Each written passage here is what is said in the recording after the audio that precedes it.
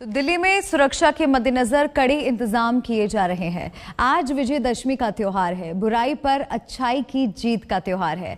नागपुर में राष्ट्रीय स्वयंसेवक संघ का सालाना शस्त्र पूजन उत्सव चल रहा है।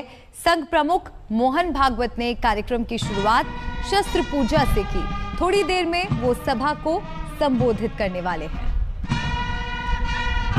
तो 1925 में आरएसएस की स्थापना हुई थी। विजयदशमी का ही दिन था। छियानवेवा स्थापना दिवस आरएसएस इस साल मना रहा है। हर साल विजयदशमी के दिन खास तरह से आरएसएस इस उत्सव को मनाता है। और तीन तस्वीरें आपको दिखा रहे हैं।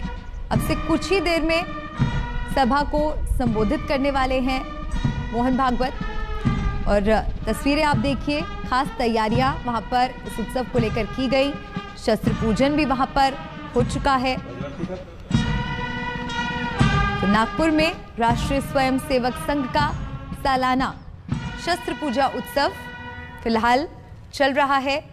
संघ प्रमुख मोहन भागवत ने कार्यक्रम की शुरुआत शस्त्र पूजा से की, जिसकी तस्वीर हम आपको दिखा रहे हैं। और थोड़ी देर में वो सभा को संबोधित भी करेंगे।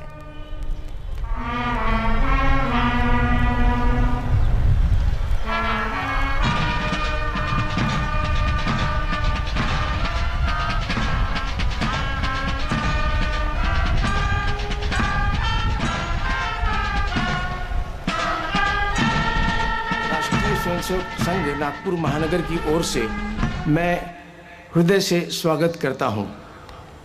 आप सभी को ज्ञात है कि संघ के